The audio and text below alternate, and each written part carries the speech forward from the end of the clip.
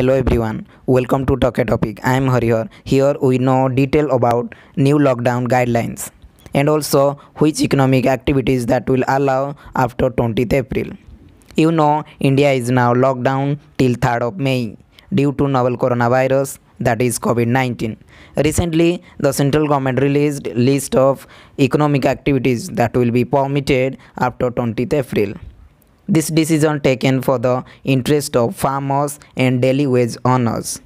You might know some or maximum activities prohibited across the country include travel by air, rail and road, operation of educational and training institutions, industrial and commercial activities, hospitality services, all cinema halls, shopping complexes, theaters, etc. All social, political and other events and opening of religious places including religious congregation etc being prohibited.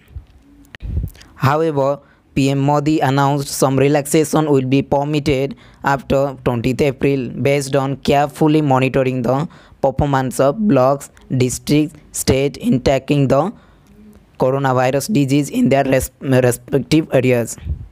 The home ministry issued guidelines regarding permission to certain economic activities from 20th April